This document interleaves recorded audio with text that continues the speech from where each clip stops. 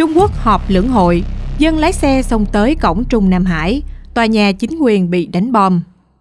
Năm nay, nhiều sự cố liên tiếp đã xảy ra trong kỳ lưỡng hội, hai kỳ họp thường niên lớn nhất năm của Trung Quốc. Từ việc người dân xông thẳng đến cổng Trung Nam Hải chửi đảng Cộng sản Trung Quốc, tòa nhà chính quyền thành phố bị đánh bom, sở công an bốc cháy, cho đến hàng loạt dị tượng xuất hiện ở nhiều nơi.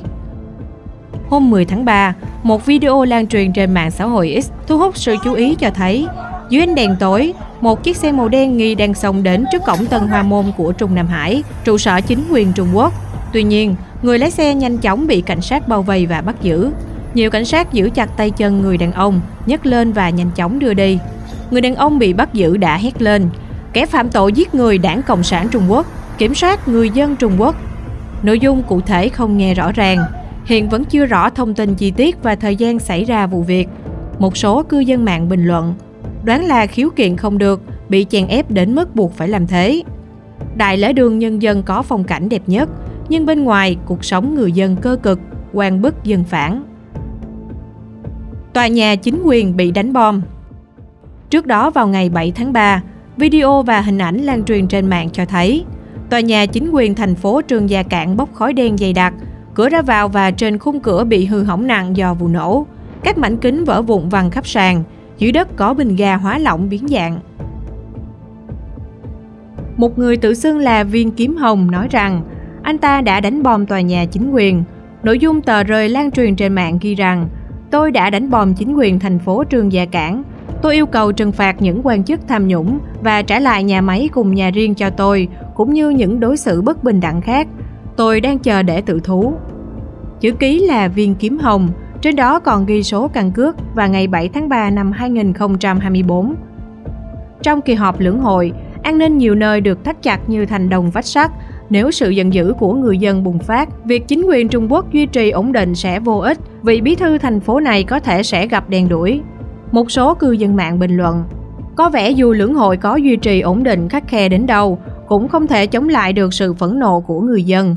Dường như là có thật, đây có phải là phát súng đầu tiên của cuộc nổi dậy không? Ngoài việc Dương Giai thành công trong việc tiêu diệt cảnh sát ở Thượng Hải, còn có cách đánh bom tòa nhà. Theo trang nhân tài trường Gia Cảng, Viên Kiếm Hồng là đại diện pháp lý của một công ty sản xuất máy, công cụ ở thành phố. Hiện tại, vẫn chưa rõ liệu ông có phải là người đánh bom tòa nhà chính quyền thành phố hay không. Cũng chưa rõ tình tiết cụ thể về oan tình của Viên Kiếm Hồng. Cùng ngày 7 tháng 3, Sở Công an tỉnh Giang Tô được cho là đã xảy ra hỏa hoạn. Khói dày đặc bốc lên từ nóc tòa nhà cao tầng nhưng không thấy xe cứu hỏa. Video và hình ảnh được lan truyền trên mạng xã hội, nhưng cả trang web chính thức của Sở Công an tỉnh Giang Tô và truyền thông đều không đăng bất kỳ tin tức liên quan nào. Không lâu sau, chính quyền Trung Quốc đã chặn thông tin này. Hình ảnh được lan truyền và các cuộc thảo luận liên quan trên mạng nhanh chóng bị xóa. Các chủ đề liên quan đến vụ cháy cũng bị chặn, một số trang mạng hiển thị lỗi 404. Hàng loạt dị tượng xảy ra trong dịp lưỡng hội. Không chỉ người dân nổi dậy, trong dịp này, ở Trung Quốc cũng xảy ra hàng loạt dị tượng khiến nhiều người bàn tán xôn xao. Sáng sớm ngày 4 tháng 3, cũng là ngày đầu tiên diễn ra lưỡng hội, trên bầu trời thủ đô Bắc Kinh liên tiếp xuất hiện hai quả cầu lửa khổng lồ. Chúng phát nổ trong lúc rơi xuống và phát ra ánh sáng màu xanh chói lóa, lập tức thắp sáng bầu trời đêm. Trên mạng xã hội, đoạn video về những quả cầu lửa này đã được lan truyền rộng rãi. Tuy nhiên, các phương tiện truyền thông chính thức hầu như không đưa tin. Cũng trong ngày 4 tháng 3, nhiều trận động đất liên tiếp xảy ra ở Tân Cương, Tây Tạng, Cam Túc và Liêu Ninh. Những ngày tiếp theo, động đất vẫn tiếp tục xảy ra ở một số nơi. Sáng ngày 5 tháng 3, một trận động đất mạnh 5,3 độ Richter đã xảy ra tại huyện Tạp Đa, tỉnh Thanh Hải. Trận động đất này được cảm nhận rõ rệt ở nhiều nơi thuộc Châu Ngọc Thụ. Vẫn chưa có báo cáo về thương vong hoặc thiệt hại tài sản. Đến ngày 7 tháng 3, một trận động đất mạnh 5,5 độ Richter nữa cũng xảy ra ở Ngọc Thụ, tỉnh Thanh Hải. Có không ít cư dân mạng Trung Quốc đặt câu hỏi, tại sao gần đây lại có nhiều động đất dị tượng như vậy? Được biết, lưỡng hội là kỳ họp của Đại hội đại biểu Nhân dân Trung Quốc, tức Quốc hội, và Hội nghị Hiệp thương Chính trị Nhân dân Trung Quốc.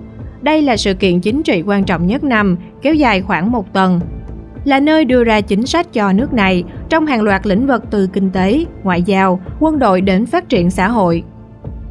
Văn hóa truyền thống Trung Hoa tin rằng thiên nhân cảm ứng, tức là thiên thượng và con người có sự tương thông cảm ứng. Những dị tượng phát sinh ở nhân gian là điềm báo của thiên thượng gửi tới thế nhân. Vào thời Tây Hán, học giả Đổng Trọng Thư đã nói rõ rằng quốc gia phát sinh chuyện xấu, vi phạm thiên đạo, trời trước hết giáng xuống tài hòa để khiển trách, khuyên bảo, nếu như không biết tỉnh ngộ thì lại bày ra một số chuyện quái dị để cảnh cáo, vẫn không biết cải biến thì sau đó tai họa sẽ ập đến. Dân gian Trung Quốc cho rằng hỏa lưu tinh hay quả cầu lửa rơi xuống là điềm xấu, có thể là báo hiệu về cái chết của nhân vật quan trọng hoặc chiến tranh, bất ổn xã hội hay các thảm họa khác. Có một sự kiện tiêu biểu là trận mưa thiên thạch hiếm hoi ở tỉnh Cát Lâm, Trung Quốc vào năm 1976. Trong đó có ba thiên thạch đặc biệt lớn rơi xuống. Cùng năm đó, ba nhân vật lớn của đảng Cộng sản Trung Quốc là Mao Trạch Đông, Chu Đức và Chu Ân Lai lần lượt qua đời.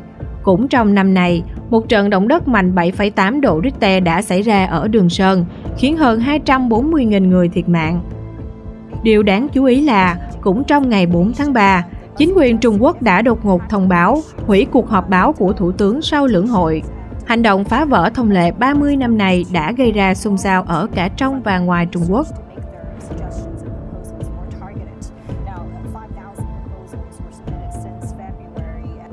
Ông Nhan Thuần Cầu, một nhà truyền thông có thâm niên cho biết trên Facebook cá nhân rằng chính quyền Trung Quốc đang gặp rắc rối ở cả bên trong lẫn bên ngoài, tình hình ngày càng xấu đi.